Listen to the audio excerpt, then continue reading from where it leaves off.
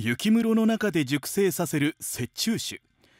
豪雪地帯の岐阜県飛騨市河合町で蔵入れ作業が行われました。雪室は高さ10メートル幅30メートルで雪が溶けにくいようにシートで覆われていて今日はおよそ4000本の地酒が運び込まれました。雪室の中は温度が2度ほどに保たれていておよそ3ヶ月かけて熟成するとまろやかな雪中酒に仕上がるということです。雪中酒は夏の贈り物として人気で5月8日から予約の受付が始まります。